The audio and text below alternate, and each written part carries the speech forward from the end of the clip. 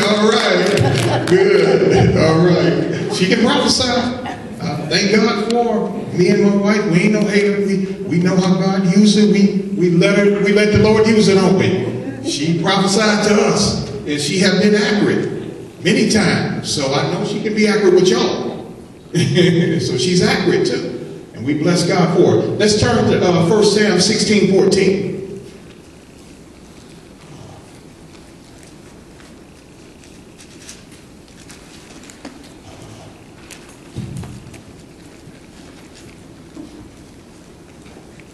But the, but the Spirit of the Lord departed from Saul, and an evil spirit from the Lord troubled him.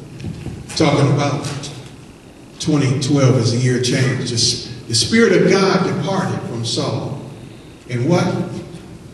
And an evil spirit from the Lord troubled him. And the evil spirit from the Lord troubled him. See, when the Spirit of God depart from you, God has sent an evil spirit to trouble you.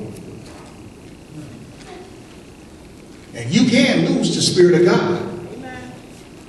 It ain't guaranteed just because he gave it to you, it ain't guaranteed that you go always have it. You can lose the Spirit of God when you begin to walk in rebellion, disobedience. You can lose the Spirit of God, walking in rebellion. And anytime God's Spirit leave you, you're going to be troubled. Verse 16. 16. Yeah, did we read that yet? No. Read 16, 16. Let our Lord now command thy servants, which are before thee, to seek out a man who was a, a cunning player on an harp. And it shall come to pass, when the evil spirit from God is upon thee, that he shall play with his hand, and thou shalt be well. Let our, let our Lord now command thy servants, which are before thee to seek out a cunning, you know, man, you do a lot of cooking. Okay, because I see you, you know, uh, I just see I see the Lord giving you like a secret recipe. Yeah. A secret recipe that's going to open up a financial door. Now, do you do catering?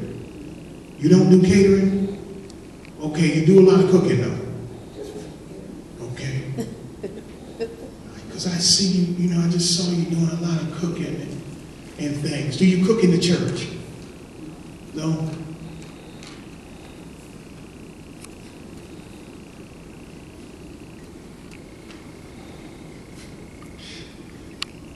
Let our Lord now command thy servants which are before thee to seek out a man who is cunning, player of a harp, and it shall come to pass when the evil spirit from God is upon him, upon thee that he shall play with his hands, and thou shalt be well.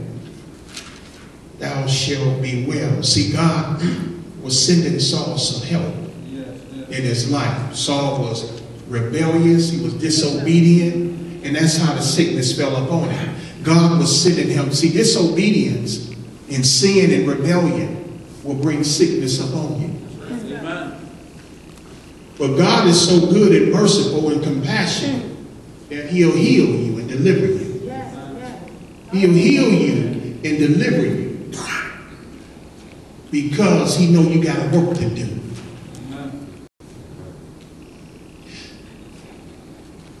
And see, an evil spirit from God came upon Saul from God because uh, uh, Saul was disobedient. He was disobedient in, in God, with God. And disobedience will bring curses up over your life. And let me tell you something. Anytime God brings a curse up over your life, can't no prophet or no bishop or apostle break it off. Can't no apostle, bishop break that curse off your life when the Lord brings a curse up over your life. You got to wait up on God to deliver you from that thing. Now, when God curses you, no one can bless you. Let's look at 23. And it came to pass, when the evil spirit from God was upon Saul, that David took an harp and played with his hand. So Saul was refreshed and, as, and was well, and the evil spirit departed from him. See, Saul was sick, and God sent someone in his life to bring to bring healing. He was sick. God sent somebody in his life to bring healing. Yes. Because see, Saul, even though he was disobedient, but he still had work to do. And God will heal you and deliver you. Even though you're disobedient and you're rebellion, he'll heal you and deliver you just because you got a work to do. Hallelujah. Just because you got a work to do. Let's look at 18.7. 1 Sam 18.7.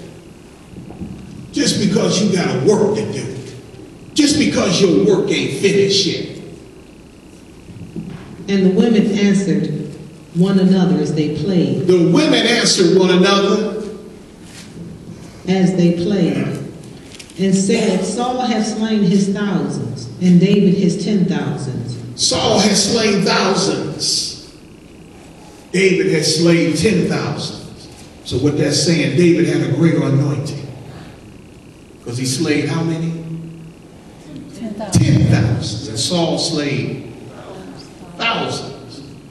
So ten thousands is greater than thousands. So he had a greater anointing than Saul.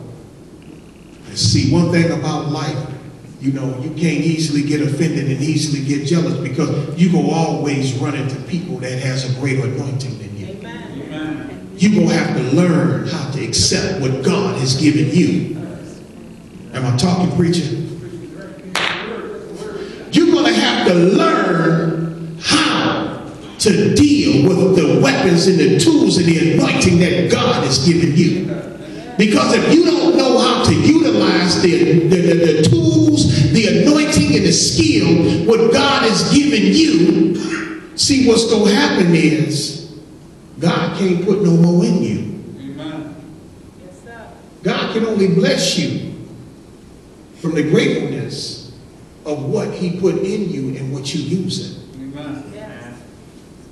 You got to be grateful for the gifts he's given you. Don't worry about nobody else's gifts. Don't worry about nobody else's gifts. Don't worry about nobody else's anointing. Thank God what he has given you. And you utilize that to the best of your ability.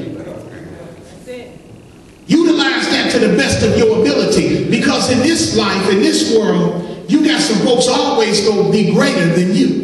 Amen. That's just the way the kingdom of God goes. The kingdom of God got some incredible people in there. Yes, yes, yes. Hallelujah. I mean, I've seen prophets that can that done came through here that can prophesy. You ain't they ain't never seen you before in their life. They can prophesy how much money you got in your purse. Yes, sir. Yeah, I've seen it. Ain't we, baby? Oh, yes, sir. Oh, Prophet Steve.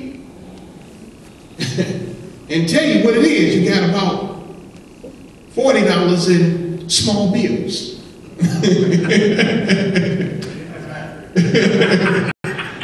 Can tell you what you, how much money you got in your purse. I've seen it come through here because this is a prophet's church right here. We can bring prophets through here, and I can give you uh, the sheet. We had about 15 prophets out here from September to December. Yes, sir. Right. And I mean, they, they, good God Almighty, they acted up. I'm just gonna say that. Didn't they die?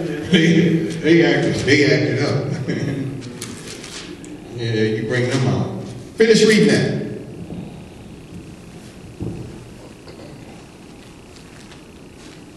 And the women answered one another as they played, and said, Saul, And the women answered one another.